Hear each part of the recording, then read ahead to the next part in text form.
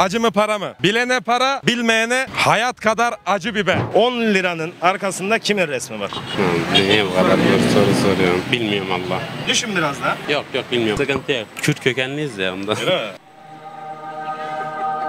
He? o neydi vay be?